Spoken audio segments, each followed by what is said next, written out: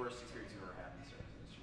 Well, I can't say that it was one experience, but I have uh, fond, fond memories of Mr. and Mrs. Anderson, who would come into Baker Square when I was eh, 15-ish.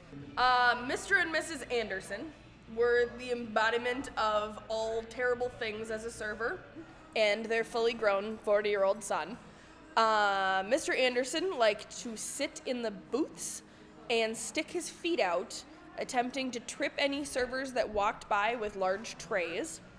Uh, they would steal all of the free stuff on the tables.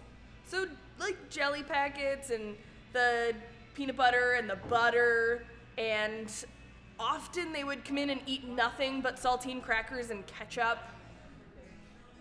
We once had to kick them out because they stole a table that we were attempting to seat the day before Thanksgiving. You know, old people in their seats at Baker Square, they get a little crazy. Uh, yeah, they were they were a joyous couple to be around. Um, yeah.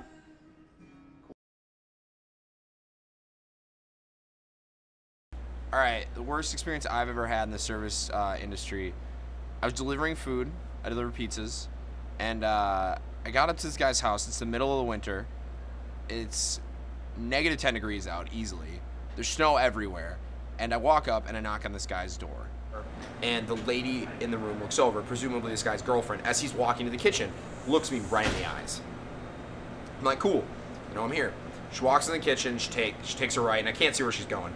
I'm assuming she's going to pick up her checkbook or her, you know, get her wallet or something. Walks over, nothing in, walks back. I can see her nothing in hand in the kitchen with her boyfriend, who is cleaning off these wine glasses. Sets them down, pours both of themselves full wine glasses. They drink both of them. Then I, but I've knocked like four other times since then, and the guy has looked me dead in the eye, like he knows I'm there. And uh, he finally comes up to me, and opens the door and says, "Hey, sorry for the wait." Yeah, sorry for the wait. Fuck you too, dude. So uh, he hands me the money for the pizza, and he tips me change. He gives me 32 cents after he made me wait outside in negative 10 degree weather for about four minutes. Fuck that guy.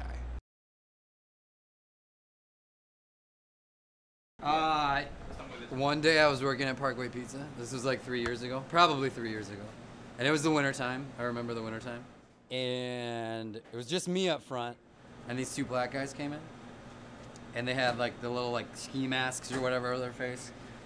And they pretended to look at the menu and they were like, yeah, let me get, uh, let me get, let me get. And then all of a sudden there's a gun over my chest. And I was like, what?